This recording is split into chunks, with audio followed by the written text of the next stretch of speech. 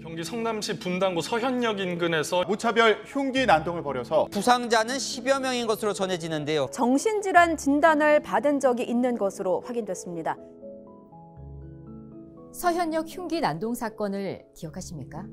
이 사건을 계기로 우리는 비극적 사고의 예방과 사후 관리의 중요성을 다시금 깨달았습니다.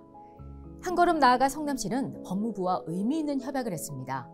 성남시 의료원 내에 정신질환 수용자 치료를 위한 법무부 입원 병상을 설치하는 겁니다. 정신질환자가 수감 중 치료를 제대로 받지 못하고 출소하면 재범으로 이어질 가능성이 높습니다. 범죄로부터 시민을 보호하기 위해서는 치료가 꼭 필요하며 이번 협약이 바로 그 출발점입니다. 여기서 무엇보다 중요한 건 시민 여러분의 안전입니다.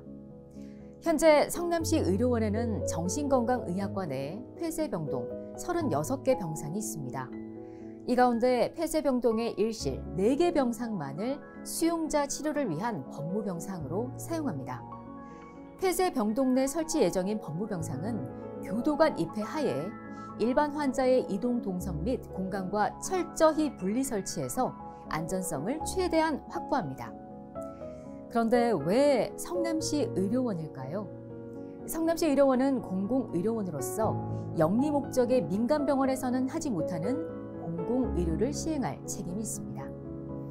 앞으로 성남시는 시민의 건강과 안전을 최우선으로 생각하며 시민의 일상이 안전하게 보장될 수 있도록 최선을 다하겠습니다.